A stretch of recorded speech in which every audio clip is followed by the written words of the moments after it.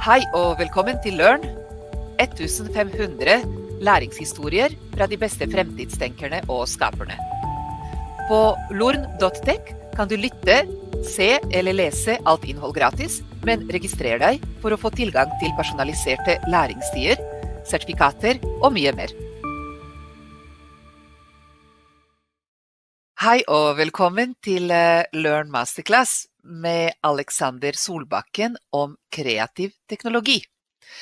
Eh, jeg skal bare si to ord om selve formatet før vi setter i gang, Alexander. Og dette her er da et eh, lettlaget, men spennende på innhold, digitalt kurs i fire deler. Vi finner folk som er kjempegode på et eller annet viktig tema, og så snakker vi om de viktigste konseptene i området, og så om noen veldig gode eksempler som gjør at folk kan huske disse konseptene og metodene. Vi snakker om en liten verktøyskasse som folk kan selv begynne å bruke, og så har vi et lite verksted på slutten med å anvende det vi har snakket om på jobber i, i masse SMB-er i det store land. Og øh, denne samtalen gleder jeg meg utrolig mye, for den dreier seg da om øh, alle de fantastiske nye generative teknologiene, digitale teknologier, som uh, egentlig uh, ikke bare har kommet til sin rette det siste halvåret, men eksploderer i sin uh, anvendelighet akkurat nå. Og jeg kan ikke tenke meg ett selskap i Norge som ikke hadde hatt kjempestor glede av å begynne å leke med disse teknologiene. Så jeg håper Alexander, at vi skal uh, gi dem noen gode konsepter, eksempler, verktøy og egentlig inspirasjon til å komme i gang med kreative digitale teknologier. Det er jeg helt sikker på at vi skal få til, ja. Ja, veldig bra. Du, før vi setter i gang med, med, selve faglige samtalen, så har jeg lyst til å spørre deg litt om hvem du er. Kan ikke mm. du si kort uh, hvem er Alexander, og hvorfor liker han å leke med teknologi? Eh, jeg er jo i bunn og grunn så er jeg jo en programmerer. Uh, Jobba med programmering, teknologi og reklame egentlig da, uh, i snart ti år. både da som liksom utvikler, hvor jeg sitter og skriver kode, men også som da en slags produsent og, og idéskaper. da. Um, så nå jobber jeg innenfor den avdelinga som til og med heter Creative Tech. da, Eh, inne i Try. Eh, og der er vi da en gjeng som jobber med alt av eh, store installasjoner, spill, og så den litt mer klassiske reklameaktiviteter, sånn som nettsider. Men litt sånn fellesnevneren på det meste vi hører, i hvert fall, er at vi stort sett da prøver å gjøre ting som folk ikke har gjort før, da. Så ja, prøv å rett og slett være først ut med noe, lage noe originalt. Eh, og så jobber vi jo da så klart da med det kreative i tillegg til at vi jobber med teknologien. da. Mm. Jeg kan tenke meg at jeg ville kost meg i avdelingen din. ja, det tror jeg. Eh, du, Alexander, eh, vi kom borti hverandre egentlig gjennom en samtale om ChatGPT. Mm. Og ChatGPT er en generativ AI-teknologi for tekst. Og den eksploderte egentlig, i, eh, i, i folkets eh, bevissthet mm. rett før jul 2022. Eh, mm. Nå er vi i mars 2023 når vi gjør dette opptaket, så det er ca. tre måneder siden ChatGPT ble allemannseie. Ja. Og jeg husker at jeg ble litt nesten litt sånn frustrert egentlig over den oppmerksomheten som ChatGPT fikk, for alle snakket om ChatGPT. Og så mm. tenkte jeg ja, men hva er nytt? Altså vi har jo holdt på med dette her egentlig i, i uh, mange år. Vi visste at uh, mm. AI blir bedre og bedre. Vi visste at uh, AI kan etter hvert etterape både menneskelig språkforståelse og det å kunne snakke bedre og bedre og oversette. Og vi har sett dette mm. med Jeopardy, hvor eh, AI vant eh, over mennesker, og vi så eh, Google sin telefonoppringing av en frisør for å bestille ja, ja. time, ikke sant. Og vi så at Google Translate begynner å bli egentlig bedre enn mennesker. Det mm. har skjedd kanskje et par år siden. Alt dette skjer med dyp læring og evne mm. da til å benytte seg av masse både tekstdata, men etter hvert også lyddata, bildedata osv. Men så tok jeg feil. Denne greia med chat-GPT var en liten revolusjon. Mm. Um, Altså, Det var jo, nei, det var jo veldig spennende. Jeg husker også at uh, akkurat når dette ChatGPT kom, så var det litt sånn uh, dette, Det var jo teknologien i seg sjøl bak. altså GPT3 var jo ikke liksom en revolusjon hvis man hadde fulgt med litt. da. GPT3 hadde jo allerede på starten av det året gjort noen ganske store fremskritt og var blitt uh, veldig bra. Og så um, satt jo da ChatGPT egentlig det her bare inn i et uh, veldig brukervennlig interface. da. Plutselig var det sånn at uh, ja, man trengte ikke å være teknolog eller programmerer da, for å ta i bruk de verktøyene her på, uh, på en enkel måte, og da eksploderte det jo, eh, som du sier. Men jeg tror for mange så oppleves det ut som en sånn hva skal jeg si, revolusjon, omveltning, eh, som kom akkurat da. Men det har jo egentlig bare vært en, en for så vidt bratt, men stabil kurve da, eh, opp mot det hele veien. Jeg tror du er inne på det helt sentrale. Så ChatGPT, Mm. et AI-algoritmeverktøy eh, som har vært der, og som har blitt bedre og bedre, og betydelig bedre det siste året, og kanskje det siste eh, halvåret igjen. Det er en Mm. sånn eksponentiell utvikling. Men det er noe med at de lagde en brukergrensesnitt, et brukergrensesnitt som hvem som helst kunne bruke. Du trengte ikke kunne skrive en halv linje med kode. Mm. Du kunne skrive hva som helst, og det begynner å, å dra deg inn i et, et bruksmønster Mm. hvor, eh, hvor eh, du begynner å skjønne potensialet, kraften, i denne Mm. teknologien. Og så tenkte jeg at ja, ja, men altså, vi har jo søkemotorer, vi har hatt søkemotorer lenge. Men så har jeg begynt å leke ordentlig med ChatGPT for en uke siden. Og her skal Mm. jeg komme med en liten confession. Jeg har eh, laget en webside for et hus som jeg restaurerte i Montenegro, Boca Fig Village. Og jeg har aldri laget en Wordpress-side selv. Jeg har en venn Mm. som lager disse Wordpress-sider for meg. Så nå sa han Silvia, nå er det nok, nå må du gjøre det resten. Og så skulle jeg skrive litt om turer i området. Og så fikk jeg hjelp fra ChatGPT til å hjelpe meg. Og bare, altså jeg visste hvilke steder jeg ville beskrive, og jeg visste ca. hvordan. Og så har ChatGPT og jeg blitt venner. Og så har den etter hvert skrevet på akkurat den måten jeg ville, om akkurat de tingene jeg ville. Og av og til krangla vi, fordi han mente at den øya het noe annet enn det jeg mente. og så fant vi ut av det. Alexander, jeg begynte å si tusen takk underveis. You're really good. Thank you very much. det er jo litt sånn eh, Det minner meg nesten på, eh, på altså når jeg så min eh, når jeg har sett min mor eh, google, og så skriver hun liksom 'takk', takk i Google. uh, men ja, altså disse Det føles jo nesten ut som det sitter noen på andre siden, da. Uh, og, og rett og slett svarer eh, Altså at det, det er nesten som vi sitter og snakker med et menneske på andre siden når man bruker disse verktøyene. så det, det må få litt med den her høfligheten, kanskje, uh, som en er vant til ellers. Jeg, jeg skrev eh, five fun facts liksom, Mm. uh, about. Og så, og så så jeg etter hvert at jeg trenger egentlig ikke skrive hvis jeg har spurt om en øy, da. ikke sant? Mm. Og så har jeg spurt uh, what can we do there, what can we eat there, what Mm. is it? ikke sant? Og så five fun facts. Så har jeg sett etter hvert at jeg trenger egentlig ikke skrive navnet på øya. Den skjønner konteksten. Og så spurte jeg can you remember that FFF means uh, five fun facts? No problem, ikke sant? Og etter hvert så. Liksom, How clever you are! tenkte jeg. Men det er jo det, og det tror jeg også er på en måte den andre liksom, eh, Det som var, hvis vi skal si revolusjonerende da, med ChatGPT versus bare um, det å bruke GPT3 som er navnet på denne eh, modellen som da egentlig ligger i, i bånn av ChatGPT.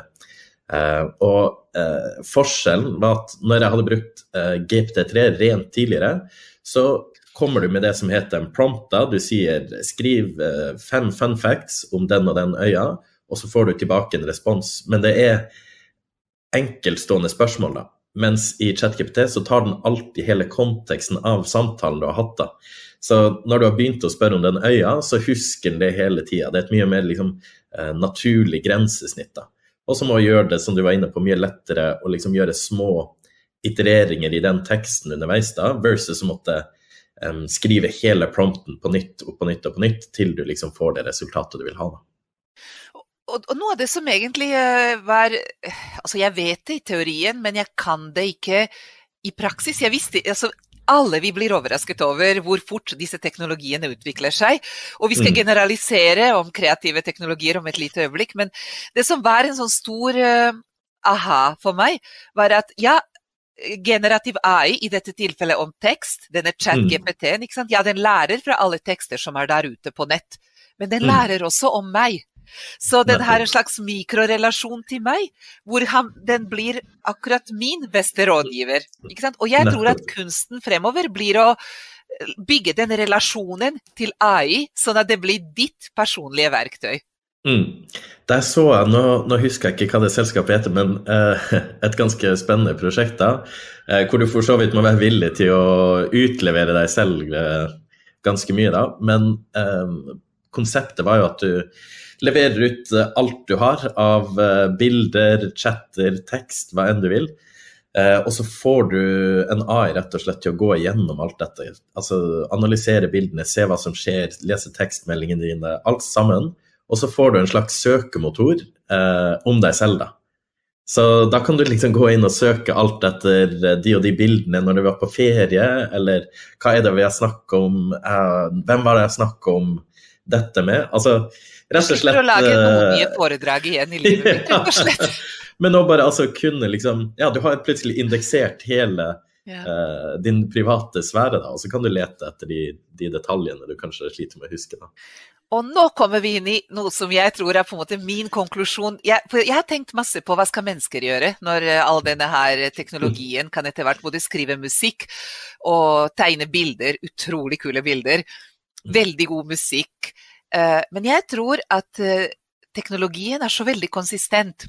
Mens vi mm. mennesker har den der deilige inkonsistensen vår. Vi, vi kan ombestemme oss. Vi kan, mm. Eh, vi kan, vi kan leke med tvetydigheter på en måte som jeg tror er vanskelig for teknologien. Og jeg tror at vår, vår jobb kommer hele tiden til å være å, å, å break the system. Ja, ja. to make something new. Og det er jo altså det, er jo det utforutsigbare som ofte er det interessante. da. Og det er jo litt sånn by design, nesten. Disse verktøyene vil jo um, De vil jo lage remix på en måte av den en har sett, mens uh, jeg tror det ligger nesten litt i sånn menneskelig natur å ønske å lage noe helt nytt. Noe som ja, rett og slett føles uh, originalt, da. Jeg syns det er et, et, egentlig et kjempegodt uh, poeng, og kanskje det vi kan starte med her, at uh, ingen mm. grafiske designere, ingen skikkelig gode designere, ingen gode skribenter uh, trenger å være bekymret for at de går glipp av jobben sin. Men, men, de som skriver dårlig, og de som tegner halvbra, de blir det mindre å gjøre for. Ja, det tror jeg du er helt rett i. og altså jeg tror for så vidt de som er veldig gode og kommer til å, de kommer til å ta i bruk disse AI-verktøyene um, og for å rett og slett booste sitt eget potensial. Altså, de kan ha ideer som de kan prøve å teste superraskt med disse verktøyene, i stedet for å måtte uh, gå og altså, sitte og gjøre det manuelt selv. Da. Um, men uh, vil få, de vil nok ikke bruke det endelige resultatet bare rett ut, kanskje. Uh, mens ja, som du sier, de som ikke nødvendigvis er så gode til å skrive, vanskelig å, å battle dem mot f.eks. ChatGPT. Ok, Alexander og Silvia lager en grand challenge. Det er ikke bare DARPA, det er også vi. Og vår grand challenge det er at folk skal prøve å få ChatGPT til å skrive en bok som vinner Nobelspris i litteratur. Ja, ja hvis de greier det, så, så er jeg solgt. Da Hva gir vi? Vi gir, da... Eh, vi gir en bronsestatue som er 3D-printa av barna deres. altså, nei, men hvis det Da tenker jeg da bør vi alle være redde for at uh, eh, AI-en skal ta over. Men uh, inntil da så, så er jeg ikke så nervøs, nei. Du, Alexander. Eh, jeg har også blitt helt forelska i Mid Journey. Og det mm. også er en sånn eh, greie hvor eh, AI tegner for meg. Mm. Og den tegner etter eh, stil Jeg kan be den gjøre en Dali-utgave mm. av Silvia, eller en watercolor, eller en barnebok, eller Så vi, vi, har snakket litt sånn løst og fast. Nå har jeg nevnt Mid Journey, vi har snakket om mm. chat GPT. Mm. Vi kunne snakket også om uh, tilsvarende musikkskrivende uh, verktøy. Mm. Ikke sant? Men, men, uh, men, overordnet. Vi snakker om kreativ teknologi, og kan mm. vi si at vi fokuserer på der hvor AI er involvert? Litt sånn digital og AI, ikke sant? Ja. Mm. Hva, hva, er det? Altså Kreativ Jeg tenker jo den videste liksom, måten å snakke om, om, kreativ teknologi, eller kreativ bruk av teknologi, det handler jo om å utnytte potensialet i en eller annen form for teknologi på en eller annen enten innovativ eller eh, original måte. da. Så det er jo eh, ja, prøve å utforske en teknologi og, og prøve å finne liksom, nye måter eh, å utnytte den teknologien på, rett og slett. Og det kan jo være en eller annen form for problemløsning eller å utvikle nye produkter eller tjenester. Eh, men det kan òg være å skape kunst eller bare kreativt innhold. Altså det kan være både liksom, ja, produktutvikling på ene sida, eller bare kunst og moro. Poenget er at du eh, lager noe, eller lager noe som på en måte ikke finnes fra før. Eh, så det trenger ikke å være liksom, at du finner opp teknologien, bare at du finner en måte å skape en helt nye resultater på. Mm. Og foreløpig så har det med, vært mer sånn at okay, noen kunstnere har kanskje lekt med mm. generativ uh, musikk, uh, kunstig mm. intelligens, og de kan uh, prøve å lage noe som man tror kanskje Bach har skrevet, eller Mozart har skrevet, eller mm. Og etter hvert har det blitt så bra at mennesker kan egentlig ikke skille mellom, mellom maskinskapt og menneskeskapt. Nei. Selv folk som er kjempeflinke på musikk osv. Uh, og, og, dette her tenker jeg er sånn uh, spennende psykologisk også, ikke sant, og etisk og alt mulig. Men rent produktmessig så har dette store konsekvenser for videobransjen, for mm. reklamebransjen. Men kanskje mm. også for andre bransjer, eller? Ja, altså eh, absolutt. Bare hvis du ser på programmering hvor jeg kommer fra, så har jo AI-verktøy tatt eh, helt av der. Jeg kjenner nesten ikke en utvikler, tror jeg, lenger, som ikke bruker det som da dette AI-verktøyet som, som uh, GitHub uh, bruker, Copilot heter det, som da for så vidt bruker en modifisert versjon av, av uh, GPT3 til å, å, hjelpe deg å skrive kode. Så det er nesten som en sånn autocomplete som vi har vært vant til i tekstmeldinger. Men det er noe med når det skjer i kode, og den klarer å bare se liksom, navnet du putter på la oss si en funksjon, det blir litt teknisk da, men Um, Idet du bare begynner å skrive koden, så skjønner den litt hvor du er på vei, og kommer med forslag. da. Er det dette du, du ønsker? da? Um, og, det, så, og, dette endrer ja. jobbene, ikke sant? Dette endrer mm. jobbene til programmerere, hvor man på en måte slutter å være så mye en snekker. Med mm. mindre man jobber med chipper og hardware og sånt, og man blir mer en slags arkitekt. Ja. Og det vanskelige er å forstå systemet, og mm. så kan dette implementeres i hvilket som helst språk etter hvert. Mm. Um, og optimaliseres. Så funker disse programmene relativt uh, effektivt. Ja, og så tenker jeg f.eks. med kode. da, så Det handler om, rett og slett om at jeg bruker mye mindre tid på å egentlig skrive kode, og mye mer tid på å, å lese kode i stedet. Um, jeg sier hva jeg ønsker å få til, og så ser jeg på forslag og heller redigerer det. da, uh, I stedet for at jeg skriver alt fra bunn. Uh, som kan veldig sånn en repetativ prosess. Du vet ofte du har gjort noe lignende før, og så ja, er du nesten bare tvunget til å skrive det på nytt, eller å gå og prøve å finne hvordan var det du gjorde det eh, en gang før, da. Jeg tenker at uh, det blir aldri hva skal jeg si, uh, slutt å ha behov for å kunne kode litt. Nettopp av den grunn som du beskriver nå, for du må kunne lese det som står der. Mm. Og jeg tror vi som kan noe koding. Vi forstår også hvilken vei disse datamaskinene kan utvikle seg videre i alle mm. sine anvendelser, om det er olje og gass, eller om det er helse, eller hva det er. Så mm. det er ikke sånn at vi kan overlate dette helt til maskinene, men de kan, de kan være veldig, veldig nyttige verktøy. Ja, og rett og slett bare gi oss det her eh, startpunktet, da, i stedet for at man eh, starter på null. Eh, om det er med en tekst eller en video eller en hel pakke. altså som vi har vært snakka om. Altså, det finnes jo innenfor både tekst, videogenerering, lydgenerering, alle disse tingene. Så la oss si vi skulle laga den, eh, den podkasten her, da. Så kunne vi jo i utgangspunktet fått uh, ja, et uh, utkast til alt vi skal snakke om. Og så uh, vet jo jeg og du nok til å gå inn da etterpå og redigere og, og rett og slett passe på at hvis det er noen små mistakes her, så, så kan vi rette det i det. Det er egentlig et veldig godt uh, eksempel. Jeg hopper inn i eksempel nå litt uh, før tiden, men uh, det vi kunne gjort, og dette her Hans mm. Petter Nygaard Hansen lærte meg for ca. ti dager siden, så stor shout-out og takk til ham. Han er en sånn kjempespennende, praktisk og anvendt teknolog. Han leker seg mye med gadgets, men han leker seg også med software. Og etter hans oppskrift så tror jeg at det vi ville gjort, er å skrive ned eh, de viktigste punktene. Fått mm. ChatGPT til å utbrodere dem til ønsket lengde. Så ville vi kanskje tatt en runde med ChatGPT på det, med å putte inn noen flere eksempler som vi vil at den skal nevne osv. Kanskje vi ville puttet inn litt uenigheter, for ellers så blir det så kjedelig. ja, ikke sant. Og så, og så ville vi tatt et bilde av meg og et bilde av deg.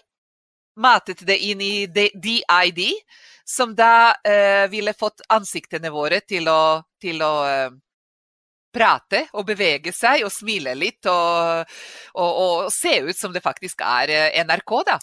Og, mm. så, eh, og så, kunne vi også kjørt bildene våre gjennom Mid Midjourney. Og jeg ville gjerne blitt hun en av de damene fra Avatar. Jeg vet ikke hvem du ville vært, men vi kan få deg til å være Napoleon, eller Ja, det. og, så, kan disse her avatarene våre ha denne samtalen, og det kan egentlig, bortsett fra at det blir litt for smooth og litt for lite tull, da, så ja. kunne det egentlig sett ganske ekte ut. Mm. Uh, og, og, dette åpner opp for utrolig uh, mye spennende innenfor medieproduksjon, da. Mm. Kanskje utdanning? Ja, altså absolutt. Og eh, det her er jo der jeg liksom både ser Oi, hvor kult dette kan være, men òg Oi, dette kan jo også resultere i at vi får liksom en eh, Ta for deg en plattform som YouTube, da. Når disse prosessene plutselig blir så enkle at du bare egentlig kan skrive eh, tilnærmet en tittel på en video, og så får du alt annet ut, Eh, så blir det jo så klart veldig lett å hva skal jeg si, Som Alexander Solbakken snakker i, selv om han aldri har sagt det. ja, ja, det jo. Men altså det, altså det, blir så vanskelig for meg som forbruker da, å prøve å finne eh, kvalitetsgod informasjon. Du blir liksom plutselig veldig avhengig av at jeg vet at f.eks. Eh, du lager bra innhold. de har jeg fulgt lenge. Men eh, å bare prøve å finne informasjon på et tema, så må du plutselig liksom vasse gjennom Eh, en haug med AI-generert innhold som ikke nødvendigvis har kjempegod kvalitet, men som treffer veldig bra på alle de ordene jeg sitter og søker etter. Ja, ja. Det, det, det, er overraskelseselementet, eller mm. det, liksom, det som er nytt siden sist, det jeg egentlig mener nå. Det, mm. det, jeg har prøvd meg på ChatGPT også til å skrive en artikkel om uh, fremtidens forsvar. Altså, den, og den er basert på alt jeg har skrevet før. Mm. Men jeg har tenkt masse siden den gang, og ombestemt ja. meg på en del ting. ikke sant? ja. Så det funka ikke. Nei. Eh, så er det jo det, altså meninger og den eh, Ja, altså våre personlige meninger og verdier de gjennomsyrer jo hvordan vi skriver og hva vi tenker om ting og ja, hvordan vi tar stilling til det. Og så vil jo ikke ChatGPT ja, Det vil i hvert fall ta en stund før den eh, har liksom full kontroll på, på alle mine verdier, tror jeg, til å, til å skrive på en god måte på mine vegne, da. Og der inne er du også inne på noe som jeg tror er kjernen i, i litt sånn i min da, mm. etiske tilnærming til AI. AI kan etter hvert remikse gammelt innhold om meg. Mm. Lære meg å kjenne på basis av eh, jeg vet ikke, 2000 eh, podkaster og noen bøker og kronikker og bilder fra familie, verden osv.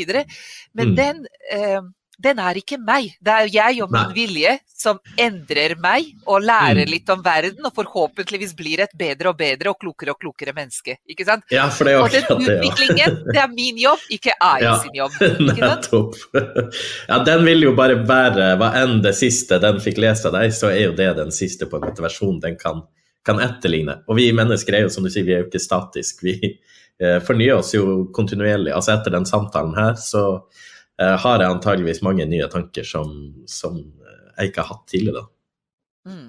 Og våre to eier ville kanskje ikke utviklet seg så mye, hadde de pratet sammen. Vi får håpe, vi får håpe ikke. Men du Aleksander, mm. eh, så vi har snakket om da kreativ bruk av teknologi. Vi sa at ofte mm. så er det noe AI inne i bildet. AI kan anvendes da på tekst, på bilder, mm. det kan anvendes på lyd, det kan anvendes på industrielle data.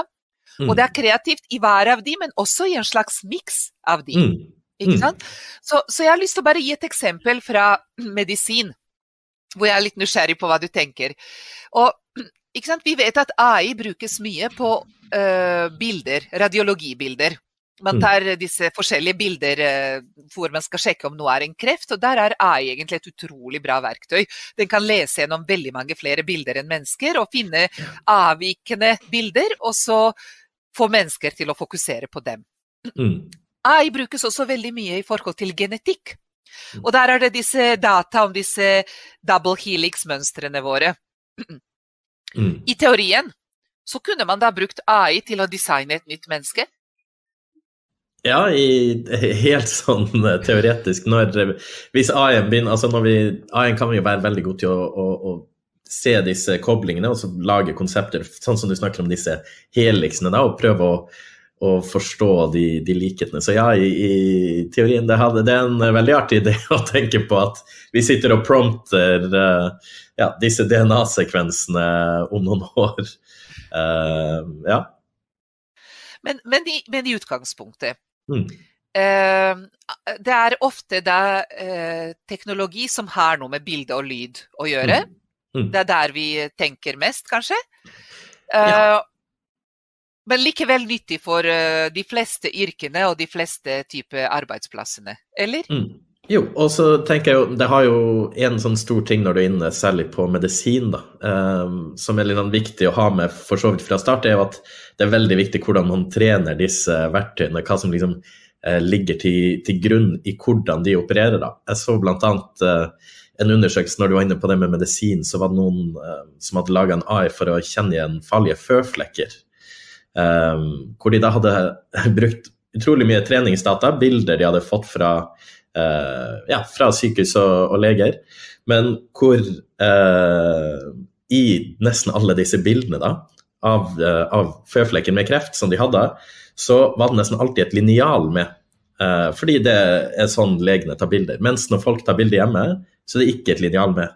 Men har du med et linjal, så trodde datamaskinen da rett og slett at eh, linjal var på en måte en del av det som var symbolet på krefter. Så når den letter i disse bildene, er dette en, en føflekk med kreft eller ikke, så blir det liksom plutselig ja, Linjalen blir med i bildet, som et menneske så klart aldri ville eh, brydd seg om, men som for AI-en som leter etter disse mønstrene, da, eh, så, så, slår det feil ut. da. Og Det er jo der, liksom, det er utrolig viktig å tenke nøye gjennom. Uh, og liksom sjekke litt ut av hvordan er de modellene man bruker, faktisk trent opp. da. Uh, og alle de som er seriøse inn og leverer, leverer AI-modeller til markedet, kommer også stort sett med ganske grundige uh, gjennomganger av hvilke data som er brukt da, for å trene de opp. Ja. Mm. Jeg tenker at dette her med å forstå at Bildematerialet er etter hvert blitt eh, også veldig tilgjengelig. Jeg tror det er så mange mm. flere bilder også tilgjengelig enn det det har vært før. Og det er også litt sånn spennende, fordi AI-en gjør sånne kvantesprang delvis også fordi den får så mm. mye mer data å leke med. Og bare alle de bildene som våre biler samler om verden, ikke sant. Ja, ja, ja. Og våre altså, mobiltelefoner eh, legger ut, eh, ikke minst også. Mm. Og ja, data Ja, det fins overalt. Å, finne et datasett til å trene det meste av AI på er blitt så lett plutselig òg, da. Eh, men det er jo der igjen, ja. Man må være litt obs eh, at man faktisk titter igjen av disse datasettene. Og det handler jo om å f.eks. Eh, persondata, altså passe på at hvis du sitter og trener en selv, da, av en eller annen grunn, en AI, så må du jo for guds skyld ikke ha f.eks. persondata inn i den, da, for det er umulig å si om det kan komme ut igjen på andre enden. Ja, ja. Um, jeg har jobbet med et uh, lite selskap mm. uh, som uh, het MobEye. Og de, har, de jobber med visuell AI på gjenkjenning av bilder. Og det de fokuserer på, er eh, eh, bl.a. kunder innenfor da, politiet osv. Mm. Eh, hvor vi har blitt så flinke etter hvert til å lage disse deepfakes. Mm. Hvor man da manipulerer bilder for å lage fake personligheter, for å kunne da enten snike seg inn i nye land eller hva det er. Mm. Du tar, du, tar, et bilde av en av, La oss si meg, da Ikke sant? Og så tar du et bilde av en terrorist. Og så kan du selv med skjegg og ja. mye mørkere hud og alt, ikke sant? men du kan blande de to bildene. Og resultatet kan være så bra at et vanlig menneske kan uh, ikke se at det er fake. Ja. Eh, og, og, den personen kunne da kommet inn i eh, et land da under feil navn. Mm. Også på disse AI-godkjenningssystemene. Og det da å finne ut av hvordan man kan sørge for at det ikke skjer, ikke sant? Mm. Anvendelser da på biometri osv., det er veldig relevant eh, sikkerhetsgreie, men det er også veldig kreativ eh, teknologi, da. Absolutt. Altså, det var jo uh, Jeg husker i starten av, av denne krigen nå i Ukraina, så kom det jo ut flere videoer med Zelenskyj hvor han tilsynelatende ba ukrainske soldater f.eks. legger ned våpenet. Uh, og egentlig på en måte gi fra seg sine stillinger. Som igjen, altså Dette er jo plutselig uh, AI-teknologi rett og slett brukt som, som, våpen fra Russlands side, hvor de lager eh, falsk propaganda nesten og, deler det ut. Prøver å skape forvirring.